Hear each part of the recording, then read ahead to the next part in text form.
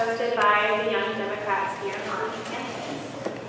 Uh, I'm- apologize for the parking, I know it was kind of interesting trying to find the building, I.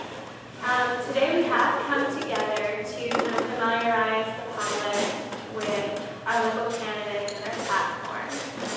This is an excellent opportunity to get involved in not only the presidential election, but our local elections here in our community. So I would like for everyone to please join me in the Pledge of Allegiance.